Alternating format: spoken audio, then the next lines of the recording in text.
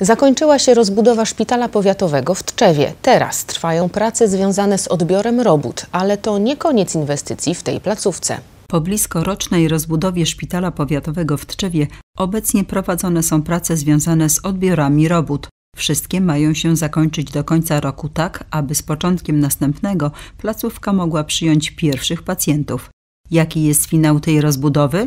Widać gołym okiem. Budynek prezentuje się okazale podobnie jak jego wnętrze.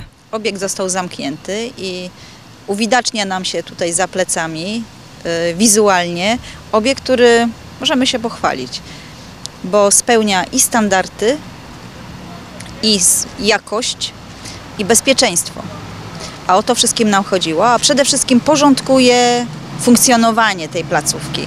Na chwilę obecną zaczęły się odbiory instalacji, wszystkich poszczególnych w zakresie instalacji elektrycznych, sanitarnych, yy, klimatyzacyjnych.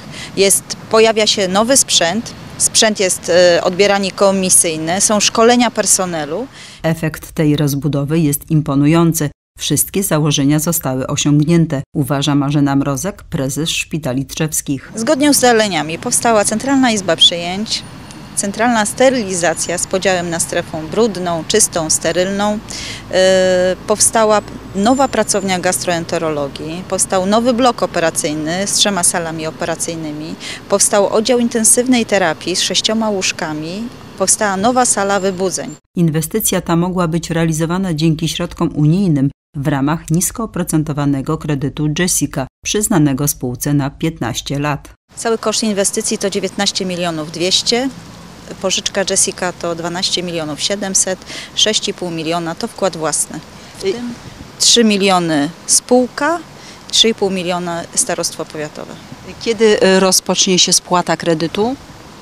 Spłata kredytu rozpocznie się w przyszłym roku. Odsetki są spłacane już w chwili obecnej.